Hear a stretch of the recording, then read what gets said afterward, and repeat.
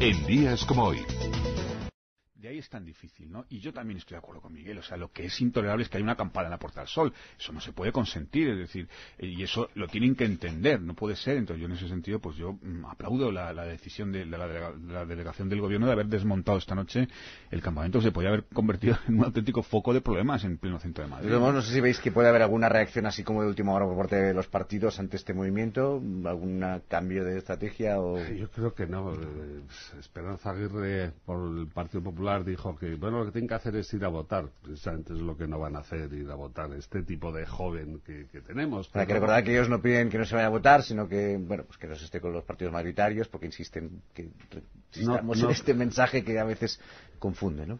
Uno de los, de los líderes es un abogado que está opositando. Es decir, que, que no hay nada, entiéndaseme bien, ¿eh? que lo digo con todo cariño, no hay nada más burgués que un abogado haciendo posiciones. Pues uno de los líderes es precisamente eso. de los jóvenes siempre se ha hablado, las generaciones subsiguientes y posteriores a las que pertenecemos, pues siempre lo, vemos con cierto desdén, ¿no? Y, los jóvenes hoy viven muchísimo mejor que los jóvenes de hace 40 años y que hace 30 y que hace 20, que tienen problemas. ¿eh?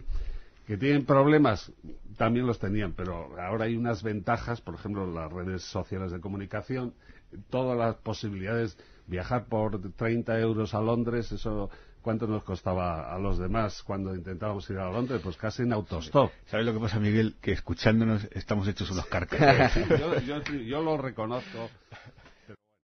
Cristina, de Burgos, buenos días. Hola, buenos días. Estoy hablando con la radio pública, ¿verdad? Por supuesto. Vale, la que nos representa a todos, vale, la que estamos pagando con nuestros impuestos. Bueno, mira, eh, me parece absolutamente lamentable que desde la radio pública tengamos que estar escuchando ahora que estamos en pre-campaña, bueno, que estamos ya en plena campaña electoral, que estemos escuchando a los dos partidos mayoritarios españoles como si fueran parvularios que lo único que hacen es tirarse los trastos a la cabeza. Yo todavía no he oído propuestas para que realmente tengamos una sociedad mejor, más justa, más equilibrada y más equitativa para todos. Tengo 46 años, estuve en la manifestación de Madrid este domingo y tengo que decir algo. Había muchísima gente joven, pero éramos gente de todas las edades y de todas las condiciones. ¿Antisistema? Sí, evidentemente. Los políticos y los banqueros y los que realmente están apoyando esas eh, medidas que realmente están recortando todos los derechos que nuestros padres y nuestros abuelos les costó sangre, sudor y lágrimas ganar, ¿eh? nuestros políticos a los que hemos votado, que están dirigidos evidentemente por las mismas manos del capital, que están dirigiendo también los medios de comunicación, son los que están convirtiendo a nuestros jóvenes, a nuestros hijos, en antisistemas, porque los están dejando fuera del sistema. El sistema en el que todos quisiéramos vivir de forma justa y de forma digna todos quisiéramos tener un hogar, quisiéramos tener un trabajo y quisiéramos poder tener paz, tranquilidad, para poder ver crecer a nuestros hijos y a nuestros nietos. Y ese futuro nos lo están cercenando.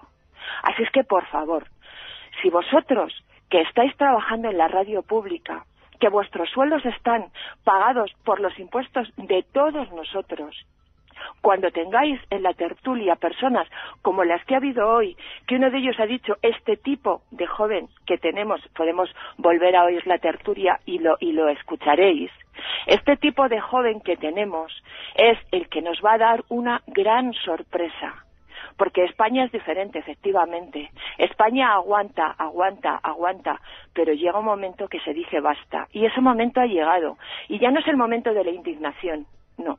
Ahora ya es el momento de la reacción. Los han echado de la Puerta del Sol, pero ahí estamos todos apoyándolos. Y no necesitamos partidos políticos ni partidos económicos. No necesitamos nada de eso. Nos bastamos y nos sobramos. Nuestros padres y nuestros abuelos ya nos educaron en la dignidad de seguir siempre al frente persiguiendo nuestros sueños.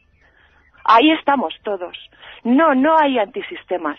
No hay cuatro descerebrados. No somos todos los que estamos reivindicando, un mundo mejor. Es lo único que quería decir. Gracias, Cristina.